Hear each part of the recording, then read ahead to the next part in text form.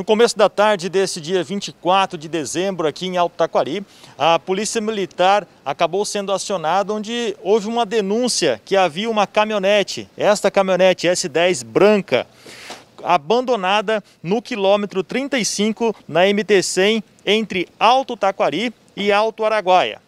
Ao chegar no local, a Polícia Militar encontrou a caminhonete lotada, recheada de drogas. Eu quero pedir para o Alexandre acompanhar comigo aqui essa caminhonete.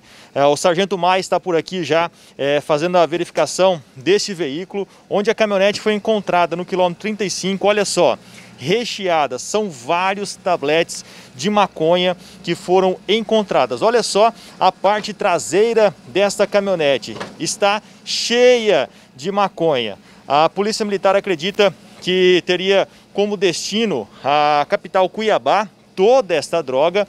Não há informações ainda sobre ah, o paradeiro do motorista que possivelmente, viu, ele acabou estragando. Pedi para o Alexandre filmar aqui. A caminhonete estava nesse, desse jeito, é, estava sem pneu, então possivelmente o pneu desta caminhonete acabou estourando ou furando e com isso atrapalhou a entrega desta mercadoria, onde a Polícia Militar chegou e acabou encontrando toda esta droga aqui próximo a Alto Taquari. A Polícia Militar, um trabalho rápido, conseguiu acionar um guincho aqui mesmo do município de Alto Taquari, onde trouxe a caminhonete, o veículo com toda esta droga aqui no pátio da delegacia de Alto Taquari. A nossa reportagem conversou com o subtenente Cury da Polícia Militar de Alto Taquari, que participou e comandou esta operação na apreensão de aproximadamente mais de mil quilos de entorpecentes apreendidos na MT-100 aqui no município de Alto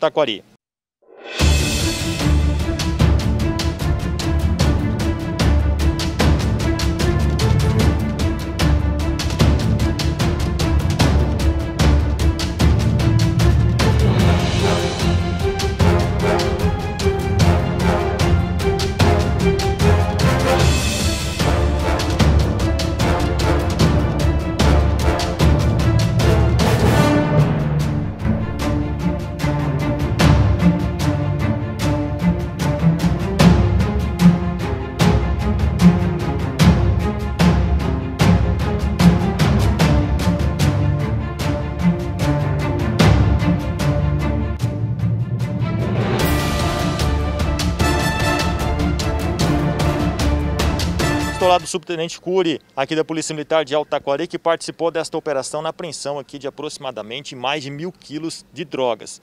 Como vocês chegaram até esse veículo, subtenente? Boa tarde. É, foi passada uma denúncia anônima, né, que no KM36, né, a proximidade da, da usina, né, saída de Alto Taquari, né, sentido Alto Araguaia, que tinha uma caminhonete de cor branca abandonada lá, né, com atitude suspeita, né.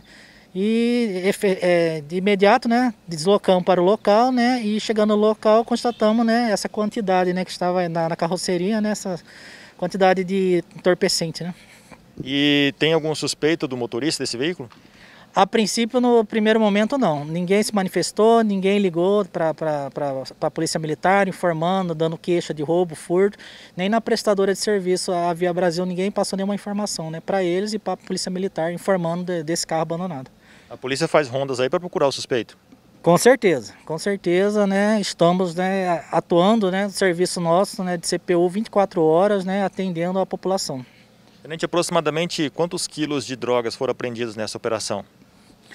A quantidade é, é, como você falou, né? Aproximadamente, né? Vamos dizer assim, aproximadamente mais de mil quilos, né? Aproximadamente, né? Ainda não fizemos a contabilidade, né? Dessa quantidade, né? De drogas. Né? E qual será o destino dessa desse entorpecente?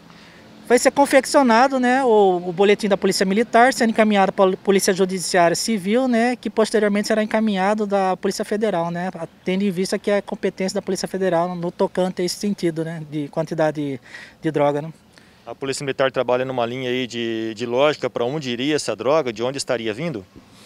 A princípio, no primeiro momento, estamos verificando aí essa situação, né, fazendo ainda os levantamentos. Né. Vale, é importante ressaltar a importância do trabalho da população junto com a Polícia Militar. Qualquer suspeito denúncia, é importante ressaltar aí o trabalho da polícia, né?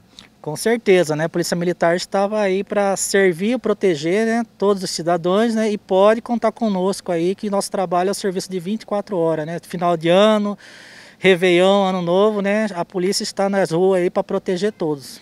Parabéns pelo trabalho. Muito obrigado.